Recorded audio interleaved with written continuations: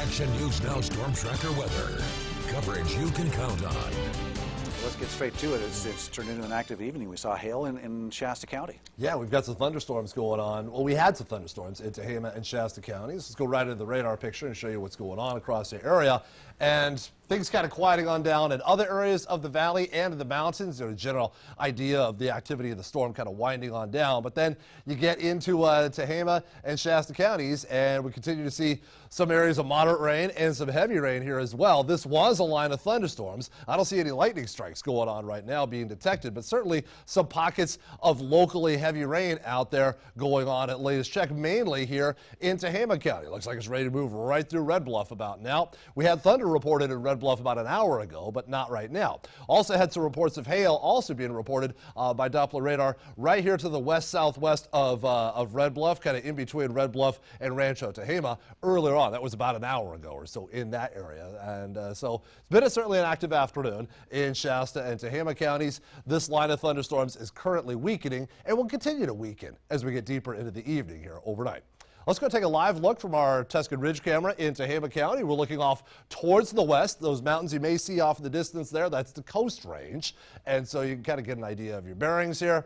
And you see the, the rain and the showers, the rain shafts coming down from the clouds uh, in parts of Tehama County and other areas totally dry right about now. So a little bit of a, a, mixed bag going on in Tehama County.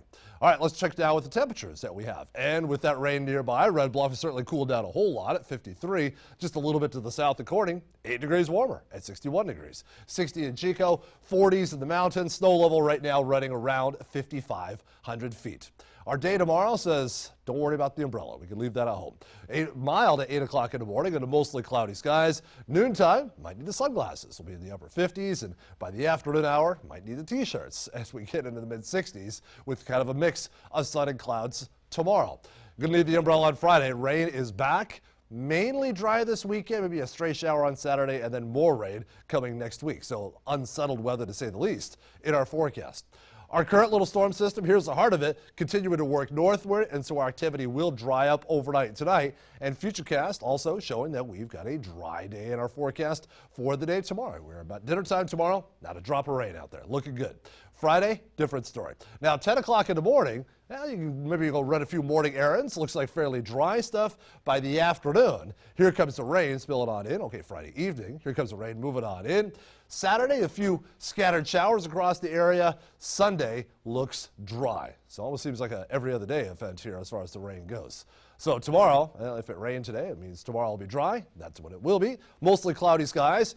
So you may not need the sunglasses in the mountains, but you may not need the umbrella either. High temperatures in the 50s, not too terribly chilly out there for a, a day after a storm. High temperatures in the 50s on the ridge also. No need for the umbrella tomorrow. In the north end of the valley, we'll still got a few scattered showers and thunderstorms going on right now. Tomorrow, though, won't see any of that. Partly cloudy skies, mild temperatures, pretty comfortable finish to our day. In the mid valley, a few scattered showers, and we'll keep an eye peeled for a thunderstorm developing in uh, Glenn County, but it doesn't look too promising for that. Tomorrow, dry, partly cloudy, high temperatures comfortable in the middle 60s. Finally, your Storm Tracker 7-day forecast with weekend is always in view. Back into the rain we go on Friday. Saturday, a few scattered showers. Sunday will be dry and partly cloudy. And then more rain in the forecast Monday, Tuesday, and Wednesday. None of those storms are big, but it just seems like a lot of them coming our way. Yeah, all right. Thanks, Chris. Mm -hmm. Coming up in sports.